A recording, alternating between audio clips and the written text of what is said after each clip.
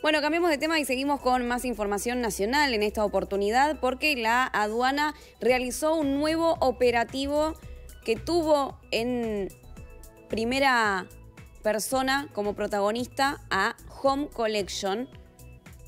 Controló importaciones en los locales comerciales de esta firma y el procedimiento se dio en respuesta a algunas irregularidades que estaban vinculadas con estos productos de blanquería de, la marca, ¿no? Como ven en pantalla se comercializan sábanas, acolchados, cortinas también, bueno, frazadas en esta época invernal y hasta el momento la justicia rechazó las cautelares presentadas por, por esta empresa para saltear los controles de la aduana y la Secretaría de Comercio y también habló el titular de este organismo de control. Según él, la etapa en la que la aduana hacía la vista gorda a cautelares de 20 millones de dólares para la importación de telas se acabó. Esto fue lo que dijo Guillermo Mitchell en las últimas declaraciones